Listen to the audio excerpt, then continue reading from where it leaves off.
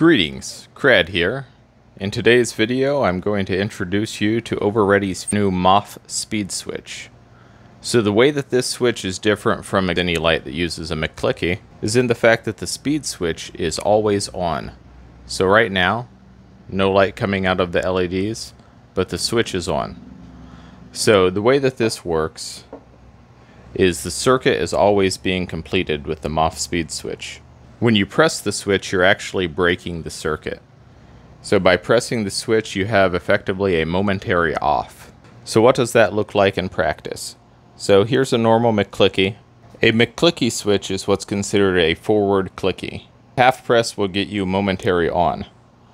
Fully depressing the switch will get you continuous on. This creates the circuit.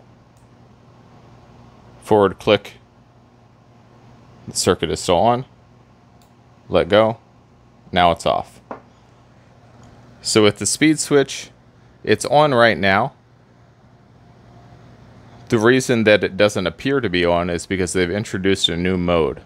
This is called mode zero. So mode zero effectively gives you, if you remember my previous videos about the new firmware, where you can have eight modes, mode zero is effectively a ninth mode.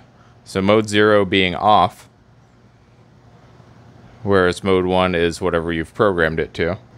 Another thing about mode 0, you can program it to be a locator beacon, where it's going to be an extremely low drain, red or amber flash at a periodic interval to help you find the flashlight in the dark. In this particular case, mode 0 is programmed to be true off. Depressing it breaks the circuit, nothing is happening. When you let go, the circuit is on. So what does this gain for us besides being a unique innovation in the flashlight world? The answer is speed and changing modes. Your ability to cycle through modes and turn the flashlight off has been dramatically increased, um, especially with the short one millimeter travel distance of the switch. So as you can see, I can cycle through all of the modes. And check this out. So the way that you turn the flashlight off is by depressing the switch slightly longer than what you're currently doing in order to change modes. So this is changing modes.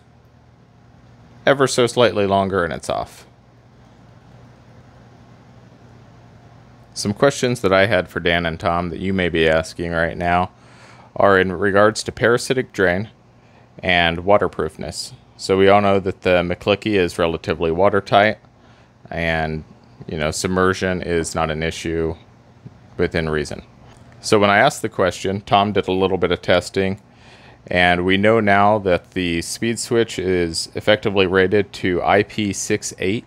Tom tested it by submerging it at 20 feet for 10 hours and found no leak by on the switch. This should be more than ample for anyone's casual use of the light. As for parasitic drain, I was told that this light can remain in this mode zero state for easily six months without draining the battery.